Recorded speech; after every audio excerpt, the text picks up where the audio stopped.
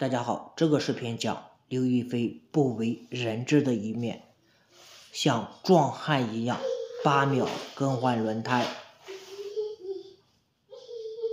十一月二十九日，关于刘亦菲更换轮胎的这个消息呢，嗯，在全球传播。刘亦菲在阿布扎比看 F1 比赛后啊，仅用八秒时间便完成了整个换胎过程。非常惊艳。刘亦菲在现场看这场比赛啊，是一场国际级别的汽车拉力赛啊，来自全球各地的顶级选手，很多粉丝也集聚在此啊。没想到啊，一直在大家眼中的神仙姐姐啊，也是一位汽车的爱好者。刘亦菲呢，身穿这种礼服在现场看到了这种国际盛世吧啊。观赛之后啊，刘亦菲在现场参加了一场专业要求很高的。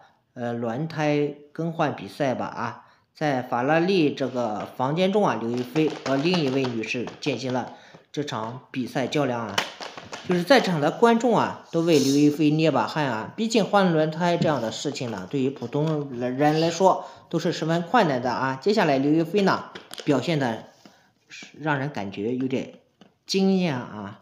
刘亦菲熟练的使用轮胎拆卸工具啊，迅速的将旧轮胎卸下，并准确的将备胎重新安装到车上啊，整个过程啊仅仅三秒。随后刘亦菲呢再花了五秒，迅速完成了拧螺丝、检查轮胎安装情况一系列的动作啊，整个操作如流水一般啊，八秒钟便完成了更换轮胎啊，观众啊还在惊艳刘亦菲。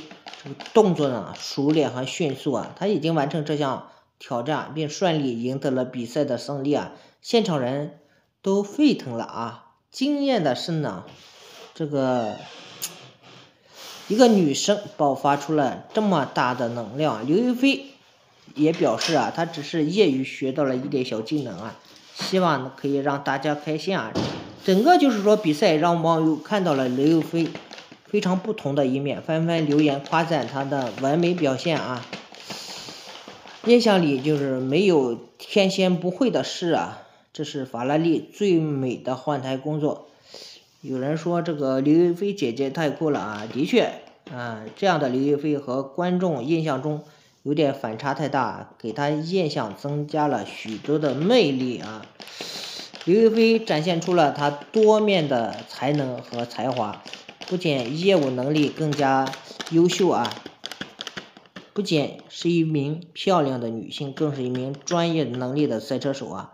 她也在支持、鼓励那些一样热爱赛车的女性啊。这场小小的比赛呢，看到了刘亦菲更多的面貌，让大家更多了解女性在赛车领域的可能啊。所以说，只有就是。